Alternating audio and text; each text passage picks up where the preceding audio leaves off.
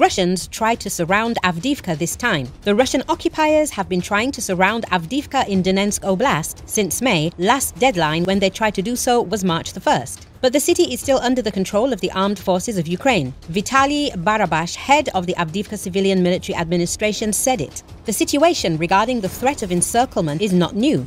They have been using this tactic in Avdiivka since May. There were many different dates that they set for the encirclement of Avdiivka. The extreme date for encircling the city was the 1st of March, but there's a Ukrainian flag over the city till now. Now they entered the lowlands from the north. Our soldiers are located on the key heights. This is what gives the enemy such crazy losses in this direction in the north. They are less active in the south of the city.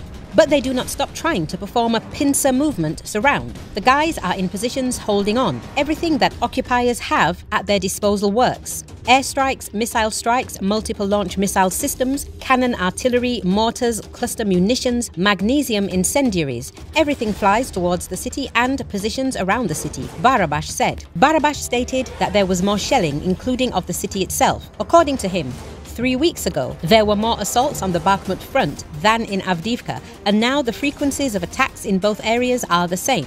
Both in the Bakhmut front and in the Avdiivka front, 250 to 300 shelling and 30 to 40 assault actions are recorded per day. The only difference is the number of anti-aircraft strikes. In Bakhmut, three to four strikes are observed daily, and in Avdiivka, sometimes it's up to 30 per day. In addition, Barabash reported that currently approximately 1,900 people remain in Avdiivka. At the beginning of the invasion, there were 26,000 inhabitants. By 2014, there were about 40,000 people living in the city.